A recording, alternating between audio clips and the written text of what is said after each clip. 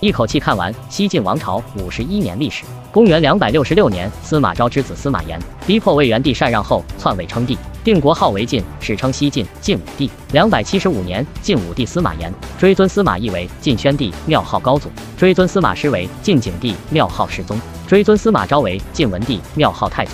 两百七十九年，晋武帝派遣二十万大军发动灭吴之战。两百八十年，由于晋武帝准备充分，仅用了四个多月，便灭亡了孙吴政权。吴末帝孙皓出城投降，自此司马炎统一全国。两百八十二年，西晋在晋武帝的治理下，人口恢复到三千五百万。当时社会经济繁荣，人民生活安居乐业，史称太康之治。两百八十五年，陈寿撰成史学巨著《三国志》。两百九十年，晋武帝司马炎去世，终年五十五岁，在位二十五年。晋武帝在位后期逐渐奢侈腐化，宫中姬妾有近万人。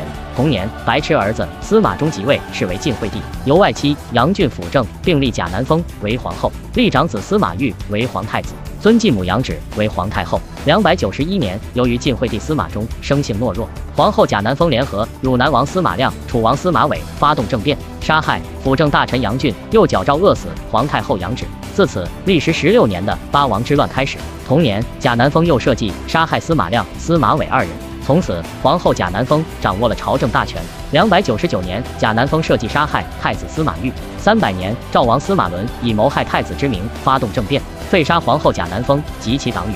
自此，司马伦独揽大权。三百零一年，司马伦逼迫晋惠帝退位，自立为帝。同年，齐王司马炯在河间王司马颙、成都王司马颖的支持下起兵讨伐司马伦，司马伦屡战屡败，被迫退位。司马炯又迎立晋惠帝复位，并将司马伦赐死。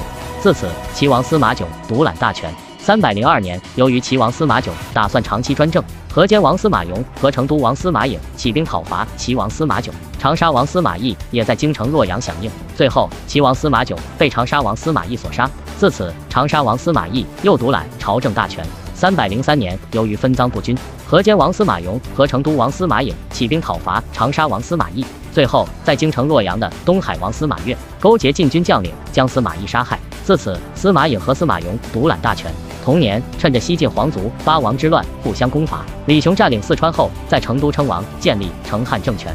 匈奴人刘渊也以复汉为名建立汉国，并追尊蜀汉皇帝刘禅为汉朝孝怀皇帝。自此，五胡乱华开始。三百零五年，东海王司马越以司马颙和司马颖专政为由，发兵攻打二人。三百零六年，东海王司马越击败司马颖和司马颙，并将二人杀害后，独掌西晋政权。自此，八王之乱结束。东海王司马越在八王之乱中成为了最终的胜利者。三百零七年，晋惠帝司马衷在受尽凌辱后，被司马越毒杀，终年四十八岁，在位十七年。同年，他的弟弟司马炽被司马越拥立为帝，是为晋怀帝。三百零八年，匈奴人刘渊正式称帝，定国号为汉，并开始了灭亡西晋的历程。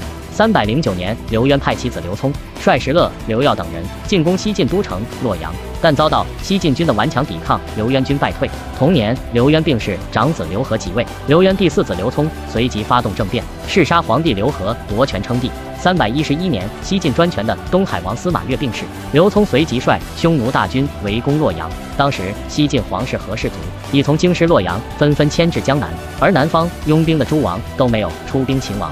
同年，刘聪的军队攻入洛阳，晋怀帝被俘。刘聪在洛阳杀害西晋官员和宗室三万余人，史称永嘉之乱。三百一十三年，被俘的晋怀帝被刘聪毒害，年仅三十岁，在位五年。同年，长安群臣得知晋怀帝遇害后，拥立司马业为帝，是为晋闵帝。三百一十六年，刘聪派刘耀率匈奴大军围攻长安，晋闵帝在时断粮绝的情况下投降匈奴人刘聪。次年，刘聪将晋闵帝杀害，年仅十八岁，在位四年。自此，享国五十一年，传四帝的西晋王朝灭亡。西晋是我国历史上第一个被外族攻灭的王朝，同时也开创了少数民族入主中原的先例。而后，各少数民族陆续在北方建立国家，史称五胡十六国。